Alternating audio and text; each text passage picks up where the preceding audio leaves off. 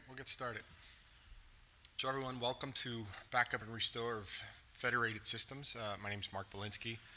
I'm one of the technology architects here at InterSystems, uh, responsible for system sizing and planning for our HealthShare, TrakCare, and now InterSystems Iris, among the rest of the data platforms uh, product family. Um, so we'll be discussing uh, what a federated system is and, and, how best to ensure referential integrity uh, or transactional integrity across uh, a federation or multiple instances. So just to go over what a federated system is, it's essentially you know, multiple database, database instances grouped together uh, or tied together that make up the system as a whole. Uh, they can provide different functions or different roles, provide the same role, but in a you know, load balancer, vertical or horizontal scaling model. Uh, in most cases, there's a, a, reliance or a requirement to have logical uh, integrity uh, or consistency across all the systems that make up uh, the federation, if you will. Some applications, the federation as a whole, uh, is not operational unless you have all the parts functioning and, and at a consistent state. Um, couple examples uh, our HealthShare information exchange, uh, and as of this morning, the InterSystems Iris, especially with the sharding capabilities, um, are considered uh, federated systems. So to address the referential integrity requirement, uh, first let's discuss what the actual data protection and copy management requirements are to support you know, a wide range of use cases. Uh, these can include your standard recovery point objectives, recovery time objectives, or RPO and RTOs. Um, part of your organization's DevOps cycle, um, regular database integrity checks, uh, and even you know, some important investigations or you need a, a, copy of production that's quiesced, but you need support to de support developers to log in to look at data to see if something strange has happened within the application. So data protection is protecting the business operation, uh, and it should be your number one goal or objective for any backup solution, period. Um, the business impact uh, or, or, loss of revenue or customers uh, should be the number one item that drives any of your backup designs uh, or any of your backup operation. Um, you know, think of it as an insurance policy. Um, the, the, these are your simplest forms, and like I mentioned earlier, your your RPOs, your recovery point objectives, or your RTOs. Um, basically, uh, everyone familiar with RPOs, RTOs, so I don't want to waste much time on it. Um, but again, it's the core of the backup is the first to support the resiliency of uh, the business operation. So you hear, you hear a lot about DevOps. Um, it's going beyond uh, the traditional support of your RPOs and RTOs uh, in the traditional sense. DevOps is becoming or already is uh, a large influence as part of uh, supporting your business operations. Um, this will require an agile approach to the dev portion of DevOps. Um, you hear the term DevOps a lot lately, but really, what is it? It's it's really it's it's the compound, you know, even in the literal sense of the term, of development and operations and, and, trying to find a happy medium between them. Uh, because sometimes sysops and DevOps are diametrically opposed to each other and, and you see a lot of arguments and fighting uh, amongst developers and their ability to be agile versus the sysadmins who are like, they don't want to protect or they don't want to present an environment that ever fails, where DevOps assumes failure domain as, and if something fails, you provision another one, you know, especially when you hear you know, about containers. Um, but it's great buzz, buzzwords, um, but really what does DevOps play as part of you know, backups? Well, rapid environment provisioning is, is or, or cloning of a production um, or for a non-production use, you know, certainly aids in, in supporting the speed of, of the DevOps. You know, in a true DevOps environment, let's say you have you know, typical restore of a multi-terabyte environment, you know, it might take you several hours uh, or even days to complete.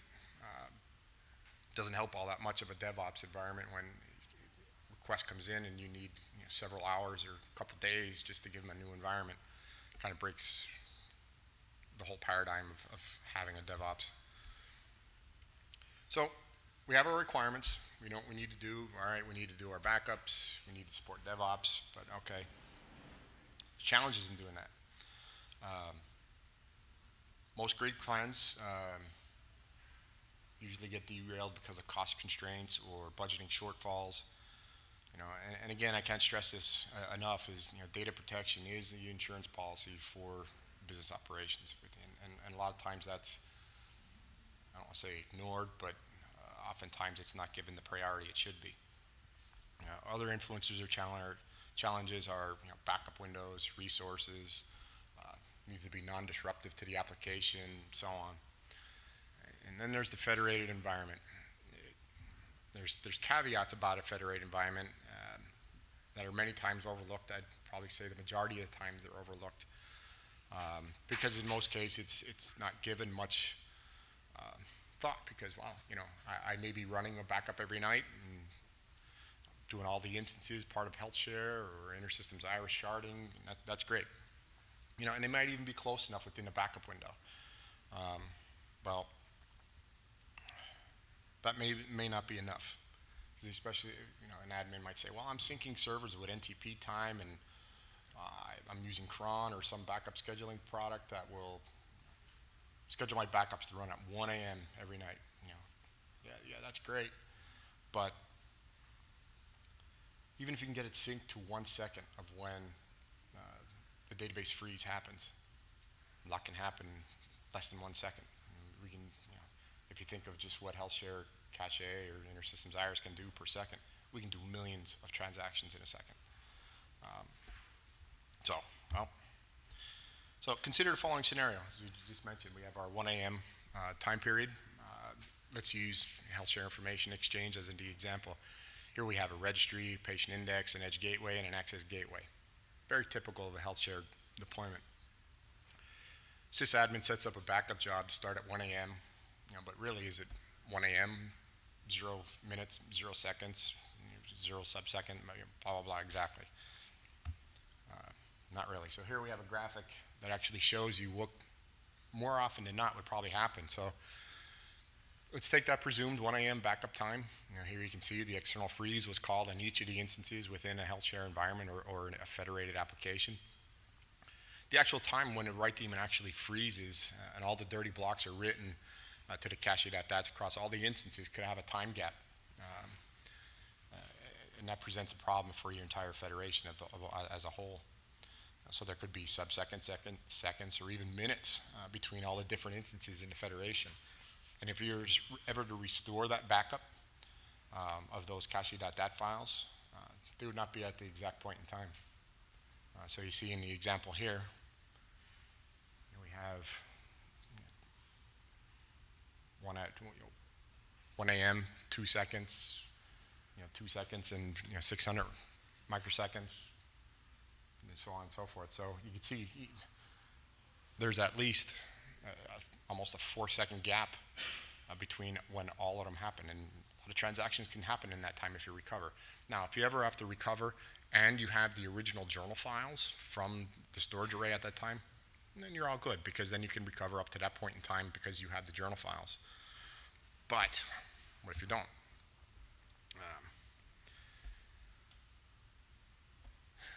So just to recap what that problem is though a little bit is using the traditional method you know when using a federated you know multi-instance environment um, traditional storage backups snapshots you know CBT you know change block tracking or even in Caché online backup um, and that's having that the big if is if you have your original journal files and more often than not if you're recovering uh, your production environment maybe because of storage failure data center failure, server failure, whatever, um, you would not be at an exact point in time.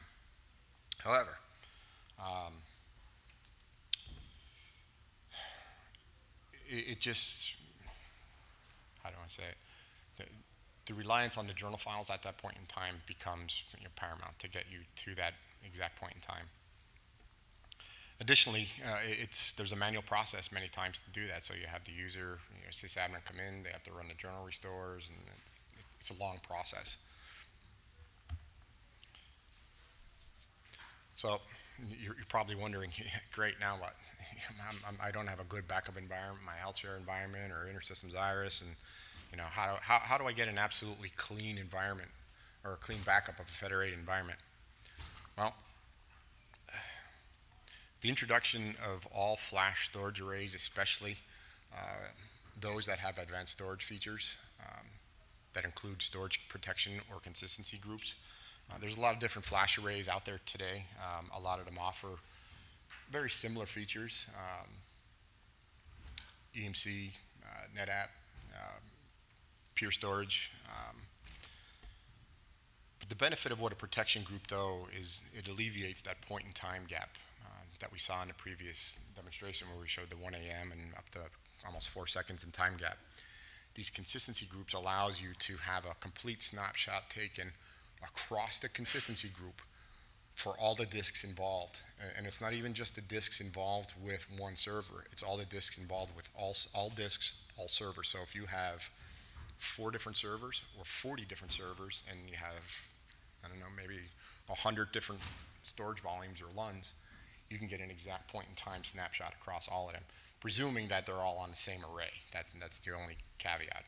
I, I don't know of any story, well, I, I take that back.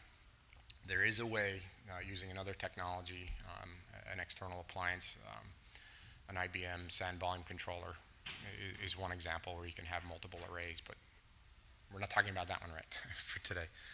Um, so now I'm going to show you an example of, of how we can actually accomplish this using you know, pure storage flash arrays and Catalogic ECX.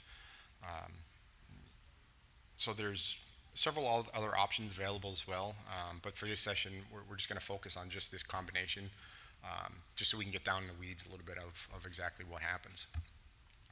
So to plug a little commercial here for uh, both Pure Storage and Catalogic, um, we have out in the partner pavilion, um, both are represented here this week, um, but we're just going to highlight you know, the technology capability of these, uh, and I don't want to go through them uh, in, in great um, detail, but you know, Pure Storage Flash Array provides all the goodness uh, of all flash arrays or AFAs, especially you know when it comes to the snapshot and cloning capabilities um, in the consistency groups or protection groups as they call them. Uh, Catalogic ECX is a, a, data copy management platform um, that orchestrates and, catalogs all the copies uh, and replication or clones. Uh, one key point I'd like to point out um, unlike any other backup software, is ECX is 100% out of band from the data itself. It doesn't touch any, any of your data itself. Uh, it's purely done by interacting with the APIs within, within the storage array itself. So just to go a quick overview of what the backup process is. So we have ECX. It's going to do an inventory scan. We're going to create an SLA policy and then we're going to define a backup job. Very simple, very clean. So here we have a, a, an example where I have you know, ECX in the upper left-hand corner, deployed as a virtual appliance on any existing you know, VMware vSphere cluster. Uh, so ECX communicates directly to the flash array and the database servers making up your federated environment. So when I mentioned earlier about going out and cataloging uh, your inventory, so it's go out, scan what storage arrays you have, tell it what database servers you have. Easy stuff. Um, so here in this scenario, we have two production database servers. Um, one happens to have three instances uh, of HealthShare on it. Um, another one only has one instance, so, uh, and I'll get it, I'll break down the details as to uh, what exactly. Um, note that this uh, process doesn't require a flash array um, two flash arrays in the primary data center is, you know, it's just good practice to protect from the unlikely event that there's an issue with the production array. Um, on the far right, uh, sorry, you got to come to my next session for that one, but so we'll just focus on the left side for now, which is our primary data center. Um, so to expand on the configuration used in a little bit more detail, here it, it shows the servers. On the left, server A consists of the three database instances. Uh, here we're going to have um, an access gateway, an edge gateway, and a registry from HealthShare. Uh, it's going to be sitting on two disk volumes. There's LUN 1, LUN 2. Um, and then on the right, we have the production server B um, that has one database instance or HealthShare instance. It's the patient index and one disk volume. And this is purely for uh, example purposes. You can have multiple disk array or multiple LUNs presented, multiple instances, or just one. Um, so there's any number of combinations you can use here. So in ECX, we, we ran the inventory scan. Uh, we cataloged the, the, flash arrays and the database servers that, that we care about. Uh, then we create a simple SLA policy by, by defining the frequency and the interval of the retention, uh, and then define the replication target uh, for backup and replication. My example here, I circled on the right, I set up an, an SLA policy for seven days to keep the source snapshots and 30 days for uh, keeping the destination snapshots. I, I, believe these are the defaults, and I just left them at that for now, but you can configure it any way you want. You can get crazy with it if you want to. Um, so there's just countless numbers um, of possible combinations. I apologize if the screenshots are a bit small. Um, the presentations will be made available in, in, PDF form, I believe, at the end of the conference on Wednesday or Thursday. I think they'll be available. Um, but uh, the ECX UI, it's very intuitive. It's easy to use. Um, so there's, there's no drama there at all. Um, so great. So now we have an SLA policy defined. We have the inventory scanned in reverse order of that. So now let's create a backup job. So my example here, I selected uh, you know, the four separate HealthShare instances because we cataloged it. And we see here we have the access gateway, we have the edge gateway, the registry, and the patient index. four instances, three on one server, one on the other. You know, then I select the SLA policy I just created, you know, and then under the covers, ECX and Purity. Purity is the uh, Pierce Flash Arrays uh, OS, lack of a better term. Um, creates the protection group and, and the snapshot uh, management is all handled under the covers.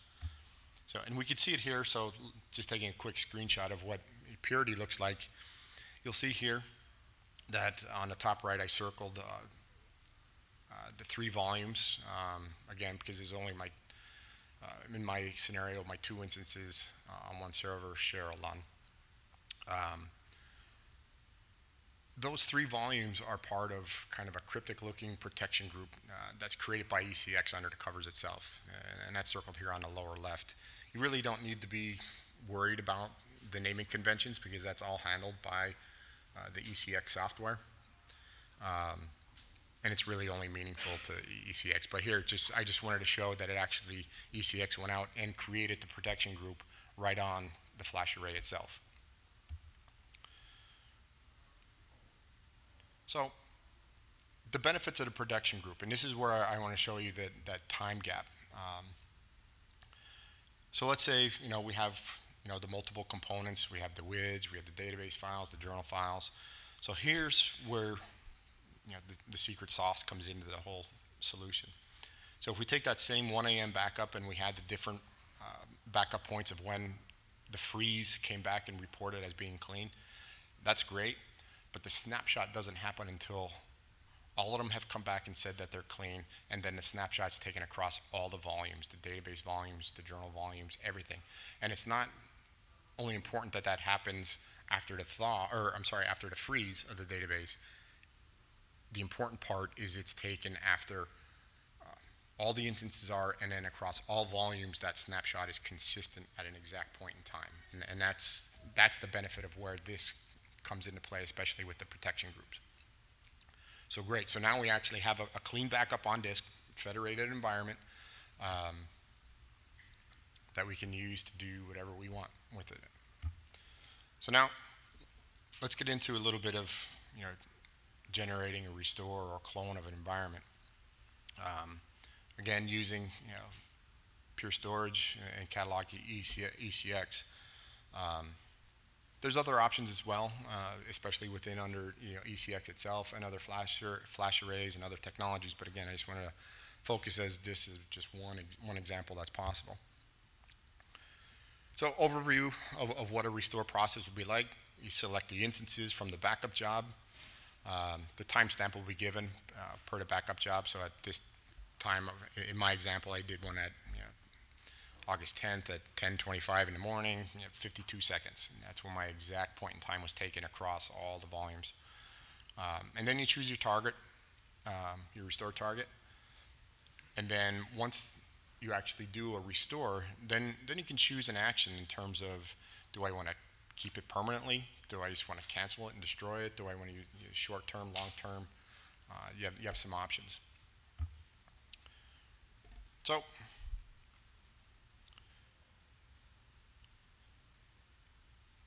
so after we have that all done, we create a restore job. And I selected the backup I wanted again at, at 10:25 a.m. Uh, it's the exact point in time across all four HealthShare instances, including databases and journals. Uh, in this site, I, uh, or in this example, I selected uh, the Bangor site, which is the top one I've highlighted or circled here above. So that's my primary site. Um, I'll get into the other one in the next session a little bit as to extending this model. Um, for backup restoration, um, and recovery of, for supporting production, you know, DevOps, you know, from the second array uh, is literally uh, instant, you know, regardless of the size of the volume. So we did some testing. You know, we, we did a, a multi-terabyte environment. It was backup and accessible in, in less than two minutes. Um,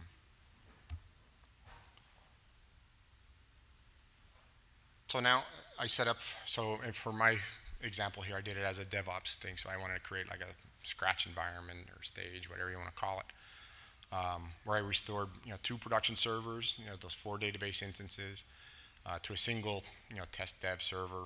Um, so here we have an example where I have those three LUNs. Those three LUNs consisted of four database volumes, um, and then we'll have four instances on one database server.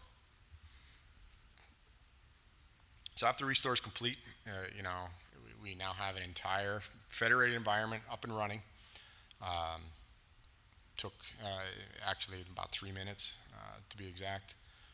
And it could be used for you know, cloning of, of any environment. Now, the really neat thing here is we actually didn't restore a single byte of data. Um,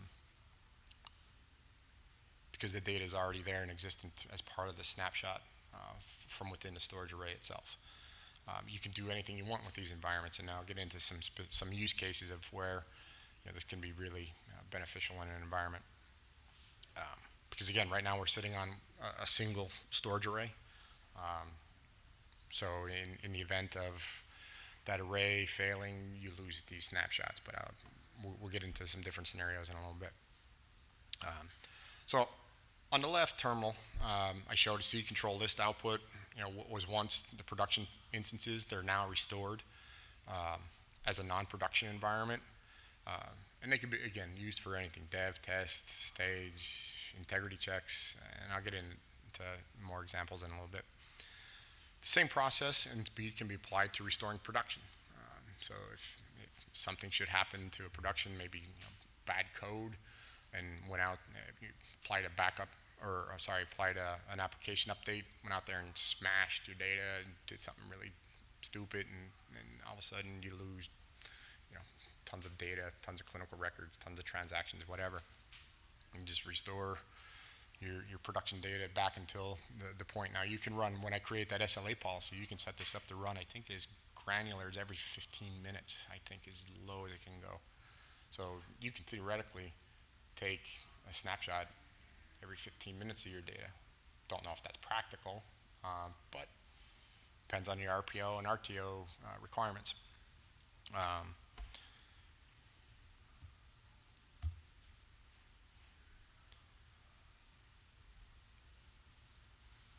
so now, once we have this, so when I did my restore, I did it as, a non-production environment. Um, consider it a clone or a snap of the environment. Yeah, you know, let's say it's used part of DevOps. Um, or some other ad hoc, you know, short-term need. You could choose to either then make permanent or destroy the environment. So here on the, the lower left, you'll see there's an option for the job. You can either choose to make it permanent uh, or, or basically destroy the environment. No harm. Um, so, you know, as, as, I mentioned earlier, there's there's a lot of different use cases, uh, and there are actually endless op uh, opportunities or options to do.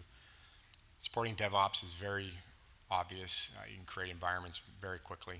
You, know, you stand it up, you want a fresh copy of production every day.